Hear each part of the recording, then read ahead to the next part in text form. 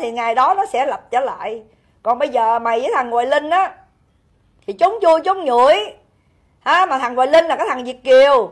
Ha mày không phải là Việt Nam, cho nên khi có chuyện gì mày biến mày về nước bên kia, thì mày nên biến đi. Đó, bây giờ còn thách thức danh hài, thách thức đi thưa tao. Trời ơi, tao sợ quá. Tao sợ quá, hoài linh ơi, tao sợ quá. Mấy mấy người muốn đi thưa thưa đi, thưa cho nhanh đi nha.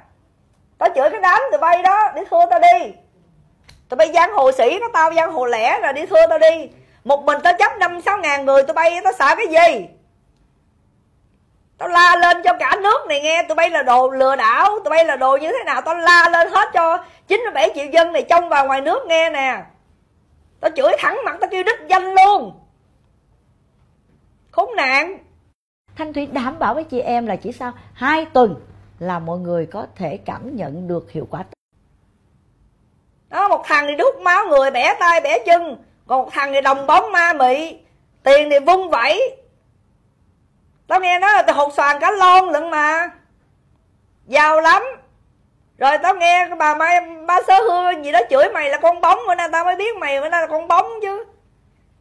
Đó bao nhiêu thằng à, coi như là trai đẹp hầu hạ mày hạnh phúc nhất đời để cho nên mày mày qua mỹ mày làm gì có được cái hạnh phúc đó cho nên mày mới mò đầu mày ở việt nam đó, bây giờ tao, trời, công nhận tao nghĩ ra luôn rồi đó. Thông máu, thông não đó. Ở việt nam có hai, ba chục thằng nó o bế mày, còn mày qua mỹ thì làm sao mày mày thuê được nhiêu đó? Đó, bây giờ tao chửi đó, tao chửi nguyên một đám tụi bay đó, nghệ sĩ, ca sĩ, kịch sĩ đó, kéo lên này nam chửi tao thật là thú vị. Khi mà tao hả, dám nói ra sự thật đó, tao nghe nói là tụi mày ăn hiếp cái thằng nào ờ, Ờ, cái em nào mà mà, mà cái nguyễn di di nguyễn vậy đó tụi bay kéo qua tụi bay giống như là là, là làm giữ con người ta. Nè ngon kéo lên đại nam nè tao đập cho bỏ mẹ luôn. Ngon kéo lên. Mẹ tao đóng cửa trường thành lại tao đập xong tao kêu công an vô hốt cho tụi bay. Đi xa đi xa. Đó tao công khai tao kêu đó.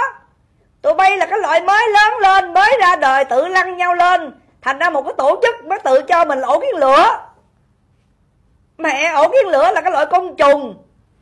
Tao đổ xăng tao đốt luôn một lần. Đó, để cho có 97 triệu dân này nè, tẩy chay tụi bay. Coi tụi bay có đất sống không? Có cơm ăn không? Không có tụi bay có ai chết không?